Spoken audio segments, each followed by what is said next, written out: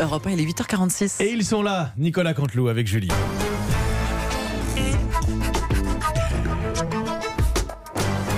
C'est presque de l'info sur la revue presque de Nicolas Canteloup. Bah, c'est à vous, Mathieu Béliard. oui, oui re- Ju- Julie, bonjour à tous, c'est Mathieu, Mathieu Béliard de retour avec des vrais gens dans, dans le studio. Mes, mes amis, mes amis, oui. euh, Vi- Virginie euh, de Tarlet, Alex de Fulpin, euh, Om- Ombline Lacroix, Laurent Leclerc, Julie Cabrol euh, et, et j'en passe. Et ça fait longtemps que, que je ne vous ai pas vu, donc Oui. c'est un, un vrai plaisir ce matin. Europe 1, et on on parle de notre sujet partenaire de, de Roland Garros. Roland Garros qui, qui n'a pas lieu. Voilà, vous le sentez en Halloween.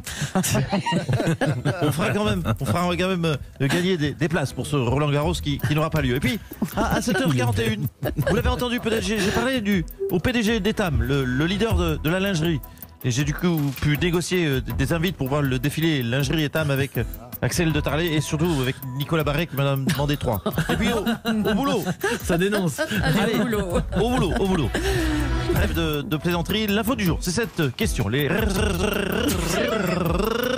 restaurateurs pourront-ils rouvrir le 2 juin Heureusement, on, l'a constaté, il y a déjà la queue devant les McDo. Donc, soulagement, les, petits restaurateurs ne sont pas tous en train de, mourir. Et puis, l'au- l'autre info, ce sont les harcèlements de, de rue qui, se feront plus intenses, car derrière le masque, les agresseurs, pardonnez-moi, se, se sentent anonymes. Donc, recrudescence de, de ces agressions. Ouais. Euh, plus compliqué. euh, Franchement, j'ai essayé entre vous et moi de, de siffler à travers un masque. Non, C'est- mais- C'est peut-être aussi parce qu'avec un masque, toutes les filles leur semblent jolies. Oh là là, mais stop. Oh putain, je, je- je crois que je viens de défendre le harcèlement de rue de- de- devant Julie en plus. Heureusement qu'il y a un mètre de distance entre nous, Julie, sinon je prenais une gifle de votre Ah part. bah oui, c'est sûr. Au moins. Allez, euh, il l'a dit euh, ce week-end lors d'une longue interview au JDD, Gérald Darmanin veut peser plus. Eh ben, qui bouffe de la soupe, le morveux? Fait 30 kilos tout mouillé, qu'est-ce que tu veux peser, petit bâtard Hein, franchement Par- Oui, pardon, je- excusez-moi, je suis sorti de mes gongs. Oui, un peu, oui. Bonjour Bruno Le Maire, bonjour. Bonjour, Alors, madame Julie. Gérald Darmanin veut peser plus dans le jeu politique, voilà. Non, mais attendez, non, mais franchement, il cumule déjà ministre de budget et maire de Tourcoing. Mais que- fran- mais qu'est-ce qu'il veut de plus Quoi Il veut être quoi Président des États-Unis Hein Pour être dans le podcast de monsieur Olivier Duhamel, Mister Présidente Ah Joli. bien, il fait de la promo, Vous avez c'est vu bien. Hein Je suis corporate. Ah très, oui.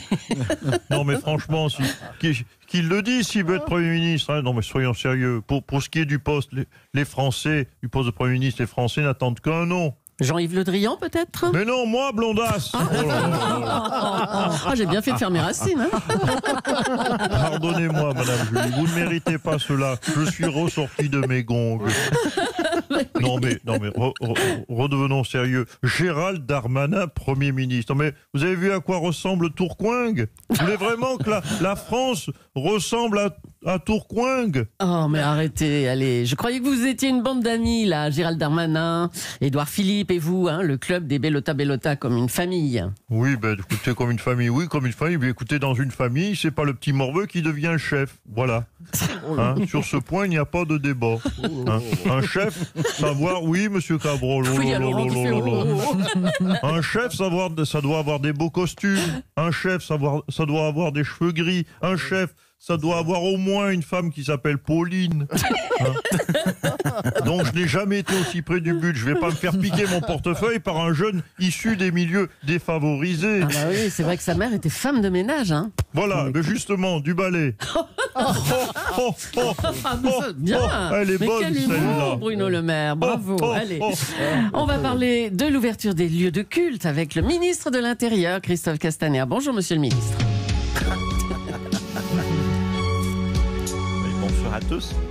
Écoutez, c'est vrai que j'oublie à chaque fois, je le renote. Je suis donc ministre de l'Intérieur et également ministre des Cultes. Eh oui. C'est point commode d'être à la mode quand on est bonne du curé. Écoutez, Je remercie Rémi et Nicolas, la régie, pour cette illustration musicale moderne de mon ministère des cultes. Je suis donc ministre des jeunes chanteuses également énervées comme mademoiselle Camilla Jordana. Ah oui, la jeune chanteuse Camilla Jordana a déclaré chez Laurent Ruquier Je ne me sens pas en sécurité en France face à un flic quand j'ai les cheveux frisés. D'accord. quand j'ai les cheveux frisés. Donc, je- Ouais. si je comprends bien, je suis aussi ministre des brushings et des cheveux permanentés. Et vous avez ça, du boulot. ça fait- oui, je le note, ça fait du travail en plus. hein, je Bah le note. bah je oui, le oui, note. oui. Alors, vous avez cheveux condamné, permanentés euh, vous et avez con- brushing. vous avez condamné fermement les propos de Camilla Jordana. Tout à fait, je les condamne. Il n'y a pas, Madame Leclerc, de discrimination capillaire au sein de la police. Demande, mais oui, mais demandez donc aux gilets jaunes Mm. 24 yeux, 24 œils. Enfin, je ne sais pas que l'on dit. Bon, bref, On fait 24. pas la liaison en tout cas. 20 oui, 24 zéborniers. 24 zéborniers et une main arrachée. Et aucun n'avait la coupe de mademoiselle ou madame de Nassaumer. Alors, il ne faut pas dire n'importe quoi, euh, n'importe où. Euh, je le dis à mademoiselle Jordana. Je ne sais pas si je me suis très bien défendu. Euh, sur, pas vraiment, non, c'est pas sûr non, ça. hein, bon. non. Alors c'est Je toujours demanderai à étonnant. Sibeth Ndiaye de me défendre. C'est ça. C'est toujours étonnant, hein, cette double casquette. Vous êtes ministre de l'Intérieur et donc ministre des cultes. Au fait, vous êtes croyant, vous? Croyant, Mm. co- comment ne pas l'être, Madame Leclerc?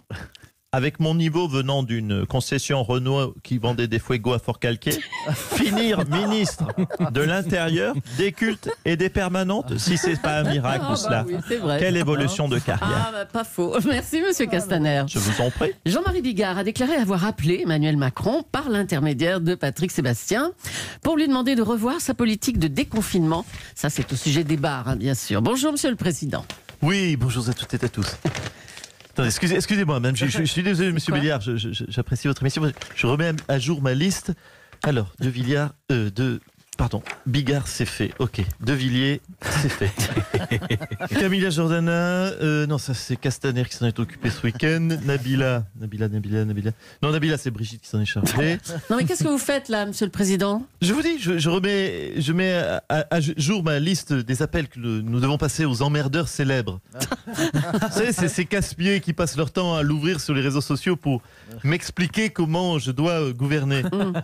que ce soit un pilier de bar à la Bigard ou une poule de luxe à la Nabila, ils, ils ont beau être risibles, ils sont, vous savez, ils sont très écoutés par les provinciaux. Et je, je n'ai pas envie qu'ils fédèrent autour d'eux, qu'ils fédèrent les- des mécontents pour 2022. Ah, c'est vrai que c'est une hypothèse hein, qu'on dit très redoutée par vos équipes. L'outsider populiste en 2022. Mais oui, c'est une préoccupation, donc je dois régulièrement les appeler pour les calmer. Ah. Attendez, excusez-moi. Allez-y, allez-y.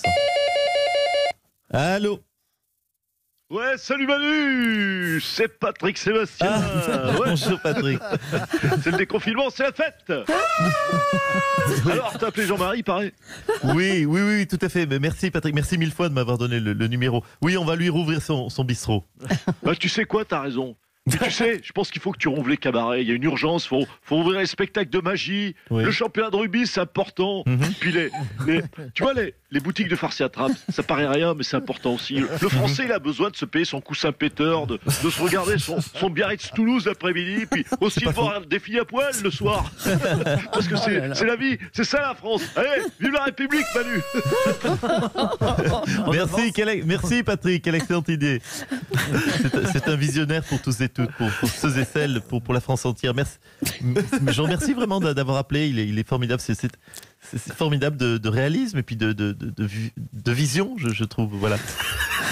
Voilà, il faut être stratégique. Bon, Ouais. alors. Euh, Il y a un autre appel là? attends. Attendez. attendez, allez-y, c'est qui cette fois-ci? Attendez, un instant. Allô? C'est qui cette fois Mon sang, vous qui c'est, c'est Michel Sardou, ça te va? Voilà, j'ai un coup de gueule, je suis pas content, parce que voilà. Michel, Michel Sardou, quel, je suis fan, je suis fan. Quelle joie, quelle joie de vous entendre. Attendez, un instant, cher Michel, parce que je suis en direct avec Europe 1. Un instant.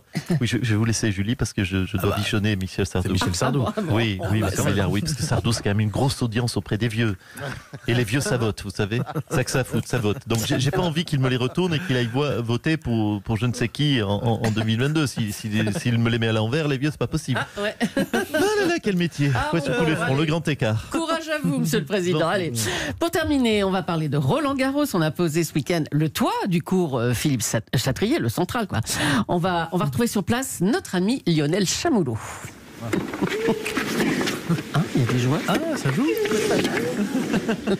Oui, allô Oui Oui, bonjour ma chère Bonjour, Julie. Lionel. Ici Lionel Chamoulot pour faire...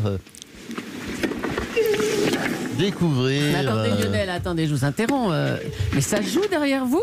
Roland Garros est censé être reporté en septembre? Oui, oui, tout à fait, tout à fait, ma chère. Je vois que vous avez l'oreille fine encore, ma chère. Julie, vous n'êtes pas encore équipée. Euh, Mais pour tout vous dire, c'est tellement déprimant d'être euh, dans cette cabine de presse que je connais par cœur. Je me suis mis un vieux match en fond sonore pour imaginer que Roland est encore parmi nous. Ah, d'accord. Voilà, j'hésitais entre ça et des chants de baleines. Donc j'ai mis un, un vieux match euh, de Michael Chang contre euh, Landel. Alors qu'on aperçoit, grâce à la caméra de, de Fred Godard, un, un ouvrier, un ouvrier à l'instant qui visse un des derniers boulons du toit euh, tout neuf de, de Roland. Il lutte, on sent qu'il est en difficulté dans ce boulon. Oula, il s'est- Oh là, Ah, quand même. pauvre Je crois qu'il s'est blessé en, en vissant son boulon. À mon avis, cet ouvrier est un Français. Oh là là Alors à quoi il va servir ce toit, euh, Lionel? Encore un Français blessé à Roland. Ou bien un Français qui souffre à Roland. Français blessé à Roland. C'est pas le premier et ce ne sera pas le dernier. Mais au moins, avec ce toit, les tennisman français, vous l'avez compris, euh, prendront des, des branlées au sec. En cas de pluie, on ne sera plus obligé de bâcher Jean-Paul Belmondo. Nicolas Canteloup, merci Julie, merci Nicolas pour la revue de presse qu'à retrouver sur europe1.fr.